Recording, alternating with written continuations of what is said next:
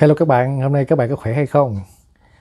À, Quốc Võ à, trước khi đi ngủ thì cũng à, lên chia sẻ vài dòng tâm sự.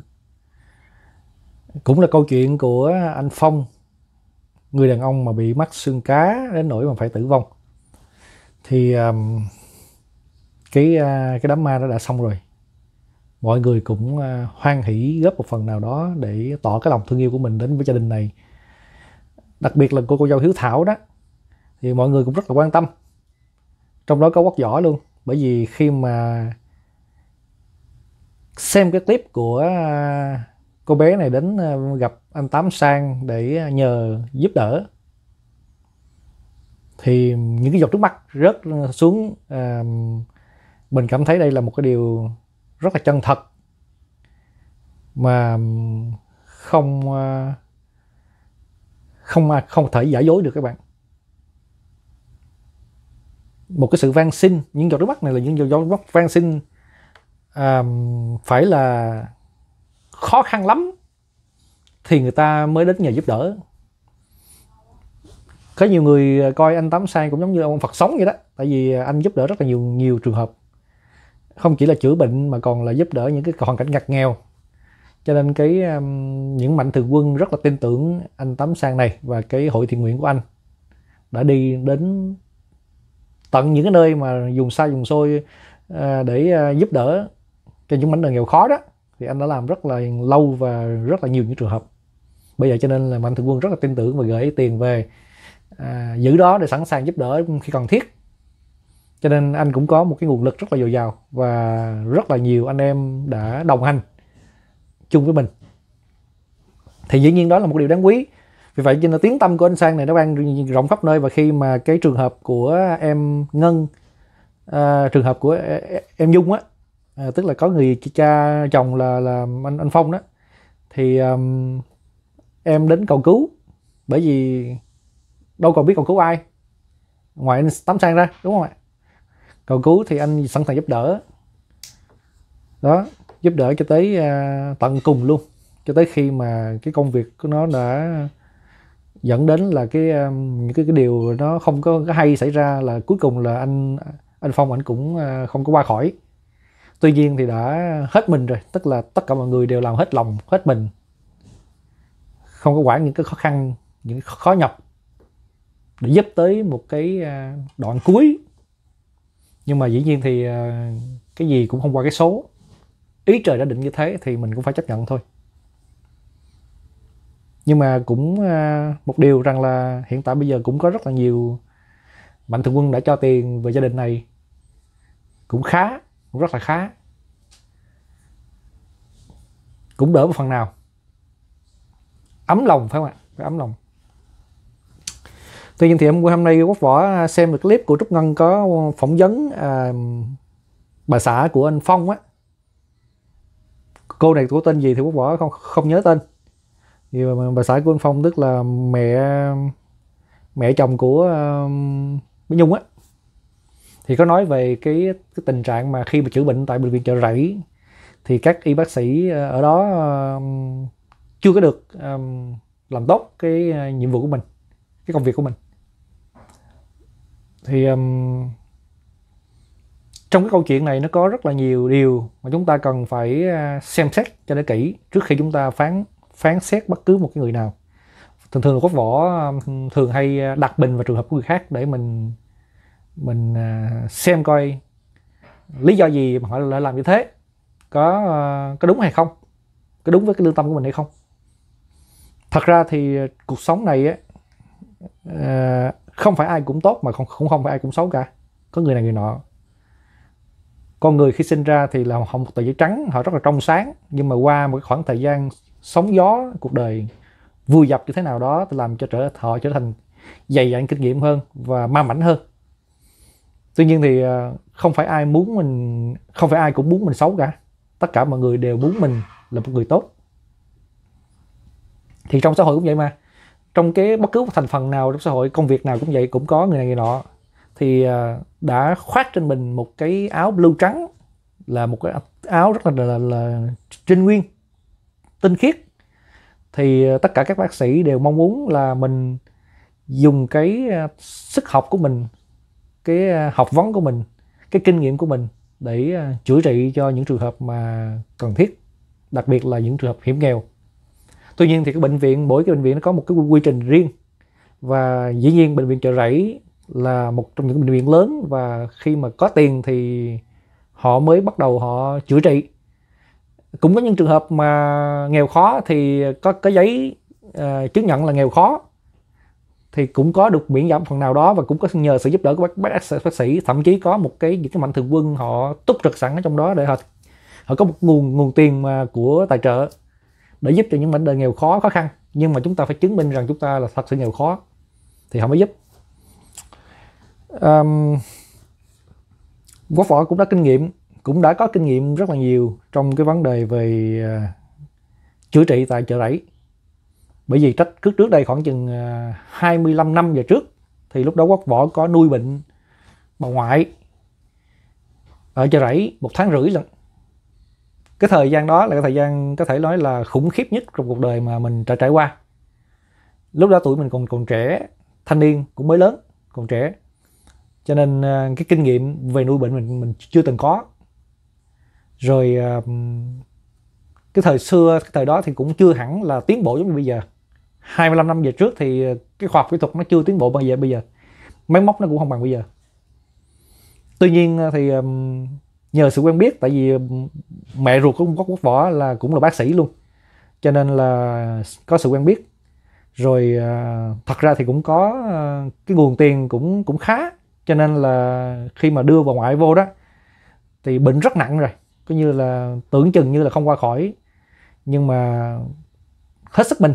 Nói chung là các bác sĩ ở đây cũng dùng tất cả những cái khả năng và chữa trị bằng những cái loại thuốc mà tốt nhất. Cho nên là phải qua một tháng rưỡi có mặt tại bệnh viện. Tức là quốc võ các bạn có biết rằng quốc võ ăn dầm nằm về tại bệnh viện chợ rẫy lầu 7, lầu 8, lầu 9, cái ba lầu lên xuống lên xuống lên xuống liên tục vậy đó. Là mỗi bữa ờ, cơm là buổi trưa và buổi chiều là quốc võ ăn cơm tại căng tin bệnh viện luôn các bạn tức là không có về nhà. Ở đó bệnh viện luôn buổi tối là là trực luôn. Thì có thêm một cái ờ, người em họ nữa tức là hai anh em cùng chung canh bà ngoại đó là phải nói rằng là khủng hoảng. Cho nên mình rất là thấu hiểu mình rất là thông cảm cho cả hai phía tức là cái phía của bác sĩ trực cái phía của những y tá hộ lý và cái phía của cái người bệnh luôn là mình đều đặt mình vào trong trường hợp đó. Tức là tôi gọi đã, đã đã có mặt ở đó à, mình mình hiểu mình hiểu được. Thật ra thì um, uh, những cái vấn đề về chăm sóc người bệnh á khi mà cái người mà hộ lý họ đi chăm sóc những người bệnh á, thì họ cũng ờ, cực nhọc lắm. Bởi vì nó dơ giấy có nhiều người họ tiểu tiện đại tiện trên giường mà. Họ họ phải lo. Thì uh, họ lo rất là nhiều trường hợp trong một ngày trong một ca trực và cái cái lương của hộ lý thì nó cũng không có phải là là nhiều.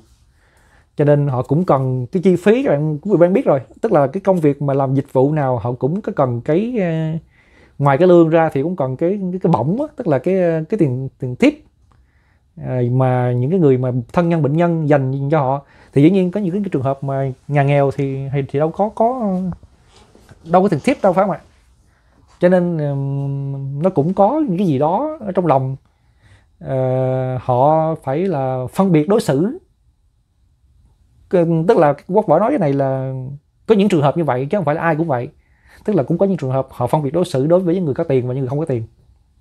Ví dụ như là mình cho cho tiền thì sẽ làm việc tốt hơn sẽ năng nổ hơn thay thay ra thay tả thay quần thay áo thường xuyên hơn còn nếu như mà mình không có cho mình nghèo mình không có cái, cái tiền mình cho thì họ có thể là họ giúp cho những trường hợp khác trước.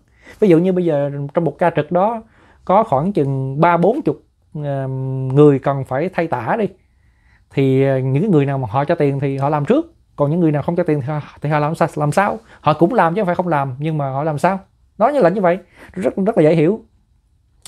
À, ngoài ra thì những cái người mà bệnh thì họ họ bị mổ xẻ họ bị đau nhất họ bị rất là khó chịu. Uh, trong người họ đau đớn họ la họ hét họ đập họ phá họ quậy uh, không có để yên cho cái người mà, mà, mà hộ lý họ chăm sóc. Thì cái người hộ lý họ lại bực mình. Lúc mà đã không có tiền mà còn bực mình nữa cho nên là họ có những cái hành động nó không có được hay. Đó nó xảy ra. Tức là như vậy. Tức là những cái gì mà quốc võ đã chứng kiến võ kể lại cho các bạn nghe. Còn um, ví dụ như là cái hồi xưa quốc võ nhớ rằng là cái buổi tối mà mình uh, ở lại trực đó thì đêm nào hầu như quốc võ cũng đi mua trái cây hết á. Mua uh, trái cây mua cái này cái nọ thậm chí là mua um, tô phở đêm hoặc là gì đó vô cho mấy ông bác sĩ mà trực á. Mấy ăn tại vì trực là thức nguyên đêm mà thức tới sáng. Cho nên khi có những trường hợp nào mà đặc biệt mà cần phải kêu bác sĩ gấp á, thì họ phải tới họ, họ, họ xem. Cho nên họ đâu có cái giống giống giống ngủ đâu. Vì vậy cho nên lúc lúc bà ngoại mà bệnh nặng đó thì uh, hầu như là truyền nước biển liên tục truyền máu truyền một bên là máu một bên nước biển. Và một cái bịch máu như vậy truyền khoảng chừng 3 tiếng đồng hồ hay sao hai tiếng mấy ba tiếng là hết cái bịch máu đó. Thì phải truyền một cái bịch khác. Vì vậy cho nên mình phải thức mình canh. Chứ lợi khi mà cái bịch bịch máu đó mà nó nó hết máu á, thì máu từ trong trong cái ven nó chảy ra ngược lại các bạn. Rất là nguy hiểm. Bởi vậy cho nên là mình canh khoảng còn chút xíu thôi. Hoặc là nước biển đi. Nước biển này còn chút xíu xíu thôi là mình phải gọi bác sĩ liền để cho họ ra họ lấy một cái bịch khác liền vì vậy cho nên là những cái người bác sĩ trực ở đó uh, họ rất là mệt mỏi vào ban đêm. Vì vậy cho nên là chúng ta uh, mua trái cây nè mua những đồ ăn đêm á đem vô cho họ để họ thức. Thì họ để ý tới mình ví dụ như là à, quất quốc là là có thân nhân ở cái giường số mấy phòng số mấy đó là họ biết. Cho nên khi mà có cần thiết là mình kêu là họ họ họ, họ, họ tới liền. Chẳng hạn như vậy. Đó là một cái qua cái lại giữa cái người bệnh nhân và cái người cái người thân nhân bệnh bệnh nhân đó và cái người bác sĩ trực hoặc là những người hộ lý những người y tá vân vân. Đó là có những cái mối quan hệ mình phải phải ờ, phải biết cách mình giao tiếp đó là như vậy. Nhưng mà đó là những người có tiền còn những người mà không có tiền thì bây giờ làm sao bây giờ? Trong khi các bạn biết là có người rất là nghèo không có tiền để ăn nữa thì tiền đâu mà mua đồ cho bác sĩ cho cho y tá đúng không ạ? Khổ vậy đó. Có nhiều trường hợp rất là ói âm mà rất rất là, là đau khổ mà chúng ta không thể nào mà chúng ta làm ngơ được. Ờ, hôm nay mình kể chuyện hơi dài dòng ờ, từ bởi vì cái cái đó là cái kinh nghiệm của võ đã từng ở bệnh viện chợ rẫy một tháng rưỡi của võ biết. Có những trường hợp mà nó khó khăn vô cùng luôn. Rất rất là là là là nghèo khổ mà mình không thể cầm lòng được các bạn. Ờ, có một trường hợp để kể cho các bạn nghe, một trường hợp là ở ngoài Quảng Nam, Quảng Ngãi gì đó, một cái vùng quê nghèo có hai vợ chồng. Vô nằm tại chợ rẫy thì ờ, nằm cái cái giường đó nó nó cũng gần cái giường mà của bà ngoại đang nằm á. Thì ờ, ông chồng mình thấy mình vào mình thấy ông chồng ổng quỳ ông lại từng người một. Thì mình mới hỏi ủa tại sao lại ờ, ông chồng lại quỳ lại như thế? Thì cái người mà bên cạnh họ mới kể lại. Tại có phải mới vừa vào quá không biết. Thì họ kể lại là cái người vợ này bị hư thai đó. Bị hư thai mà giờ cái bào thai trong bụng nó bị thúi rồi. Tức là nó cần phải mổ lấy ra gấp mà à, nếu không là chết ngay mà họ không có tiền để để mổ các bạn. Họ bán ờ, cái nhà là chỉ chỉ đủ cái tiền chi phí gì đó thôi tại cái nhà lá mà. Nó đâu có bao nhiêu tiền đâu trong trong quê thì bán đâu được chừng vài chục triệu thôi. Cái thời đó đó đó thì đủ tiền để đi xe đi đồ và đủ tiền chữa trị ở ngoài bệnh viện ngoài kia thôi. Và khi mà chuyển vào chợ rẫy á, thì coi như là hết tiền rồi. Thì ông chồng ông mới quy lại từng người một ông ờ, mới ờ, xin quyên góp để ờ, mổ cho bà vợ liền. Chứ nếu không thì bà vợ sẽ chết. Bởi vì cái bào thai nó bị thúi 3 tháng nay rồi mà không có mổ ra. Đó. Có những trường hợp rất là là đau lòng xảy ra như thế mà đến nỗi mà họ không có ông chồng chỉ có một cái quần dài và một cái quần xà lõn thôi. Bây giờ cái như là ổng ổng mặc cái quần dài thì ổng mà không mặc quần xà lõn, ổng gì dắt, ổng giặt cái quần xà lõn treo ngoài hành lang rồi khi mà cái cái quần dài bị dơ rồi thì ổng lại mặc cái quần sò lõn vô rồi ổng, treo quần dài. Tức là chỉ có hai cái quần thôi các bạn. Khổ cái đó đó. Thì lúc đó có võ mới đem mấy cái quần ra à, tặng trong mấy quần để để cho ông mặc. Cứ những trường hợp nó nó nó nó nó nó là như vậy.